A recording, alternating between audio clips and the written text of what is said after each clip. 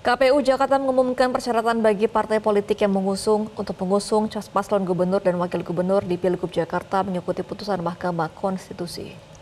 KPU Jakarta telah menindaklanjuti surat edaran KPU RI terkait dengan penerapan putusan MK pada RUU Pemilu.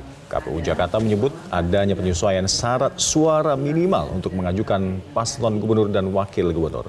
Partai politik ataupun gabungan parpol haruslah mengantongi suara minimal 454.885 suara dari total suara sah atau paling sedikit 7,5 persen dari total suara yang sah.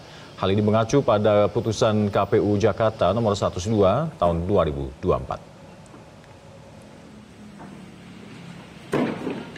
Pada pokoknya di, di uh, keputusan KPU ini kami menetapkan pertama syarat perolehan suara sah partai politik atau gabungan partai politik pada pemilu anggota Dewan Perwakilan Rakyat Daerah Provinsi tahun 2024 sebagai persyaratan pengajuan pasangan calon dari partai politik atau gabungan partai politik pada pemilihan gubernur dan wakil gubernur provinsi daerah provinsi daerah khusus ibu kota Jakarta yaitu paling sedikit tujuh setengah persen suara sah di provinsi daerah khusus ibu kota Jakarta. Jelajahi cara baru mendapatkan informasi. Download Metro TV Extend sekarang.